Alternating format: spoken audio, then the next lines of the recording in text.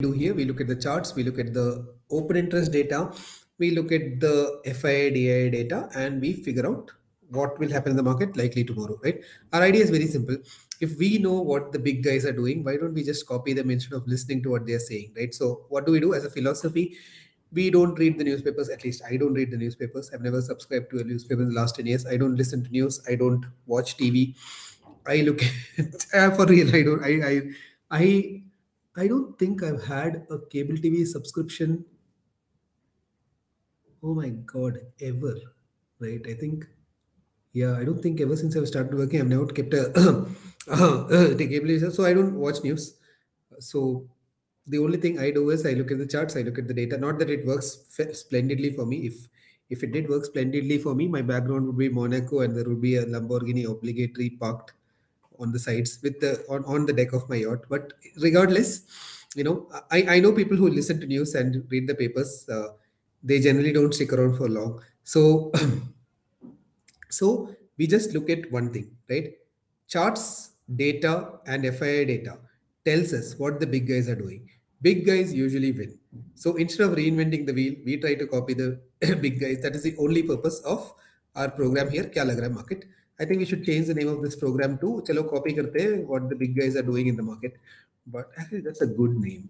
Because a lot of people rename their show to Kya Lag Raha Hai Market? after we launched it. It's like a blatant copyright violation. But hey who cares right? This is india. Let's let's I mean, let's use the i mean very glad that you know all the other option trading platforms recognize Sensibull as the de facto industry standard every time they you know copy paste a feature. But but at least the Kya Lag Raha Hai market naam to chhod do yaar like what is this uh, but anyway so let's look at uh, um, uh, nifty first right so uh, first of all, 17,800 is taken out. This was a swing low and this was also a gap that is getting taken out. And it seems like we very clearly might be headed towards 18,000 where this trend line uh, is descending, right?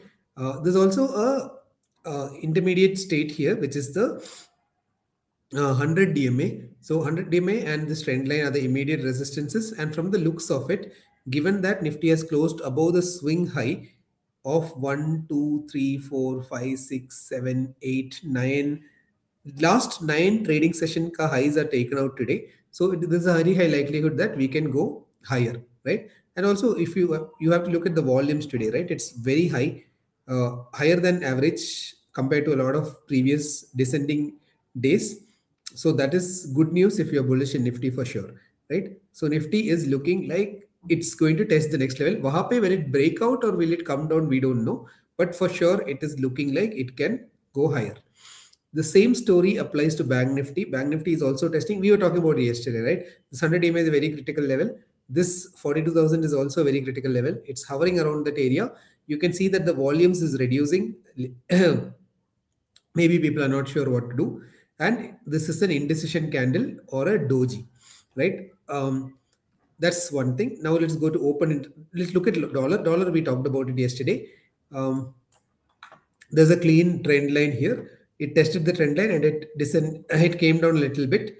And now um, whether it will go down further or uh, it will bounce back from the bottom we don't know yet but for sure there is some kind of a resistance operating there right? That is point number one on dollar. I think that's the only point on dollar. Now let's look at, uh, oh, if you haven't watched this, please do search for frauds of trading poor on, uh, on uh, YouTube. It's a new web series which Sagar from our team has created. It's pretty cool. You know, like it's, it's, it's very nice actually. You can see the opening credits. He has put in a lot of effort and graphics and stuff like this. Is a full playlist. You can see all kinds of scams in this. It's in Hindi and English both. It's pretty nice. So uh, there's a lot of put addition here. There's a lot of call unwinding here. 17800 had a lot of call unwind. That's a strong signal that market is likely to go up. Uh, 23 million calls unwound, 30 million puts added. That made the PCR jump from 0.6 yesterday to 1.2 today. And what was looking like a 17800 resistance option chain now looks like 17800 is a support and 18000 is a resistance. So if you ask me, there's a high probability that expiry is going to be between these two numbers, 17,800 and 18,000, right? And uh, finally, oh, oh, oh, oh, let's just look at multi-strike OI. It's been a long time since we did it. Yeah, suddenly after the after, after today this morning, you can see that calls were pretty stationary, but puts were getting written all the while. Let's also look at intraday OI uh, live option charts. You can see that it's a fairly, yeah, morning was the biggest put writing. Then it was steady put writing at every hour, 9.45, 10.15, 11.15, 9.45. There was put writing at every hour and call unwinding at hour. This is intraday booking so that you can ignore this for sure.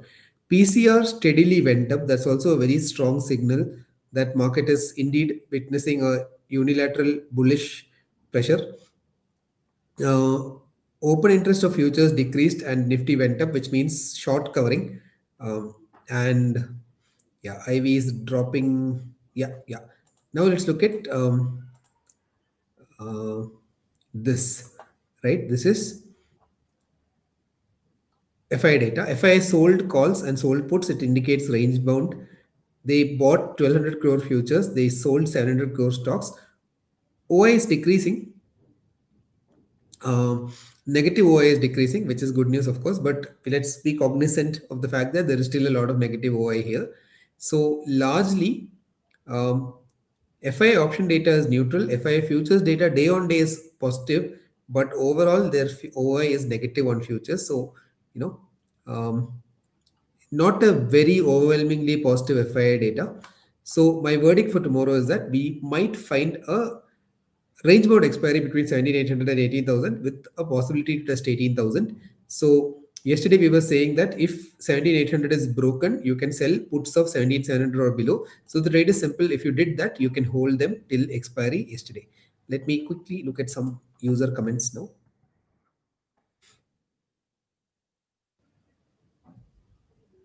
कुछ तो गड़बड़ है Daya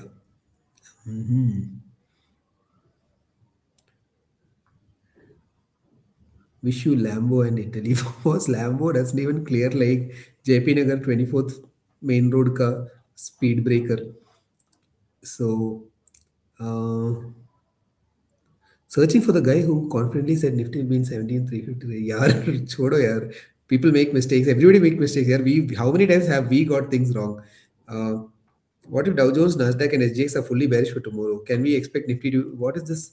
Sorry, I, I so I don't look at SGX Nifty, but let's see. Now that you're saying it, here kaha bearish here. SGX is flat only. 37 points is nothing, right? Let's look at your DJI also. It's like flat. Uh, S&P. Yeah. So don't look at this, right? Because it's it doesn't see. So if you want to really improve your mental health, one thing you can immediately do is stop looking at. Uh, uh, you know uh, uh, markets us markets after you know India closes because it's not like you can do anything right so मतलब क्या ही कर लोगे आप 9:30 को ही trade डालना है ना to the people of planet earth you're from bangalore yes i'm from bangalore namaskara so yeah so anyway so uh, this so but because tomorrow is expiry let's also take a shot at what the weekly candle is looking like now so this is interesting, right? This was a bullish piercing candle which had huge volumes and if Nifty is able to close above 17,850 tomorrow, it I mean this Friday, this will be confirmation for a bullish candle and then we can expect fireworks. Let's also look at Bank Nifty. It is again forming a bullish piercing candle. There's a doji here, but Bank Nifty, if it's able to close above last week's closing level, we have a confirmation which might lead to fireworks. Dollar, if this trend line does not get taken out, we can expect continuous selling in dollar and then maybe maybe then the whole picture will add up, right? Weak dollar, strong nifty and strong bank nifty. The only worry I have is that sometimes nifty can come back and test uh, 17500 odd levels now because uh, this trend line, right? But in the past, whenever we have met this trend line, it's not like there has been a retest, right? Every time we had this trend line going, the COVID trend line, COVID plus Ukraine trend line, we hardly had action there sustaining because every time the reversal signal came, it didn't stop there, it just went up and up and up. So, but the only counterpoint that to that I have is that there are multiple resistances here, unlike the previous time. This trend line, this 100 EMA, this 18,000 level. Uh, also, there are three moving averages here. But here's the good news, right? None of these moving averages, hourly moving averages, whether it's 150 or so 50 got taken out easily. It's a support now. 100 got taken out today. At 200 doesn't look like it's really rejecting the price. So if these three moving averages get taken out, then we have a consolidation about 17900. Then it's only a matter of time before this thing will break, right? So watch these trend lines. There could be some, I mean, watch these moving averages. There will be some cons consolidation here.